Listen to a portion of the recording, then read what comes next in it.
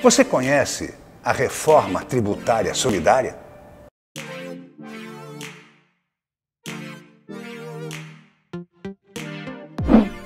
Os brasileiros pagam muitos impostos.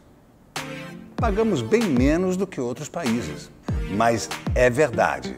Nós somos campeões mundiais em pagar impostos sobre o consumo. No Brasil, 50% das receitas de impostos vêm do consumo. Isso encarece os preços dos alimentos, dos medicamentos e de outros produtos de primeira necessidade. Esses impostos retiram parte expressiva dos salários dos mais pobres. E isso agrava a desigualdade de renda entre os brasileiros. A boa notícia é que isso pode mudar. Você quer saber como isso é possível?